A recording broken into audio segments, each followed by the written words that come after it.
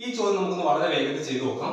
Zero point four zero six നമുക്ക് left സൈഡിലേക്ക് കൊണ്ടുവരുമ്പോൾ ഇവിടെ ബാക്കി വരുന്ന zero point five into zero point zero one into zero point zero zero two into four point zero six by zero point four zero six ഇത് ഇവിടേക്ക് വരുമ്പോൾ is equal ten raise to X ഇനി മുകളിൽ ദശാംശങ്ങൾ മാറ്റാം. ഇവിടെ ഒന്ന് രണ്ട് മൂന്ന് മൂന്ന് മൂന്ന് മൂന്ന് ആറ് ആറ് മൂന്ന് എട്ട് ദശാംശ സ്ഥാനങ്ങൾ മുകളിലുണ്ട്.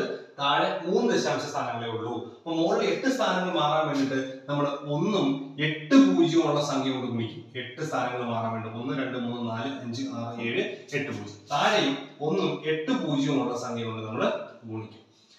നാല് നാല് അപ്പൊ ഇത് സംഭവിക്കും. ഈ എട്ട് പൂജ്യങ്ങൾ കൊണ്ട് ഗുണിക്കുമ്പോൾ ഈ ദശാംശങ്ങളെല്ലാം മാറിയിട്ട് എന്താവും? അഞ്ച് ഇന്റു ഒന്ന് ഇന്റു രണ്ട് ഇന്റു നാനൂറ്റി ആറ് എന്ന് മാറും.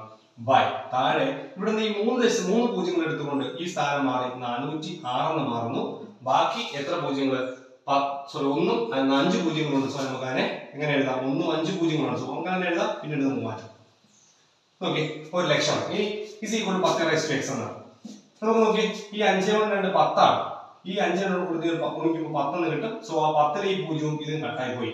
ബാക്കി നാനൂറ്റി ആറ് നാനൂറ്റി ആറ് കട്ടായി പോയി ഇനി മുകളിലൊന്നുമില്ല അഞ്ചും രണ്ടോട് ചേർന്ന് പത്താണായത് ഇനി മുകളിൽ എന്തുണ്ട് മുകളിൽ ഒന്നുമില്ല. ദർ ഇസ് വൺ ബൈ പിന്നെ എങ്ങനെ എഴുതാം? ഈ പതിനായിരത്തിന് നമുക്ക് പത്ത് റൈസ് ടു നാലെന്ന് എഴുതാം. കാര്യം ഒന്നും നാല് പൂജ്യമാണ്.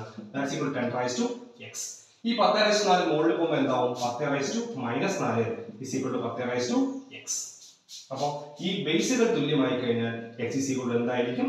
മൈനസ് നാലായിരിക്കും